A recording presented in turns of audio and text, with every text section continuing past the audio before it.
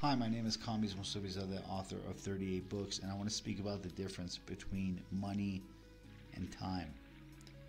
Money can be generated. Time cannot be generated.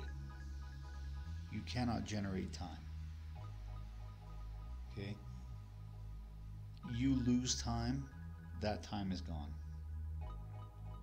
You lose a chance, an opportunity, it's gone.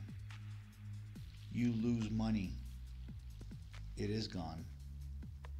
You could regain it back by making new money, by generating new money.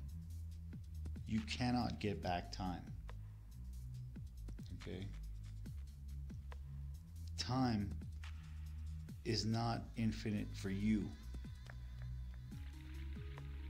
Okay? Money can be generated, time cannot be generated.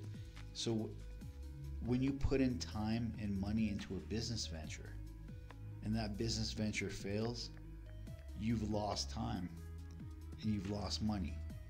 The money you can regain through doing new business ventures, but you cannot regain that time back. All that you have to show for it is the experience that you've gained from going through that.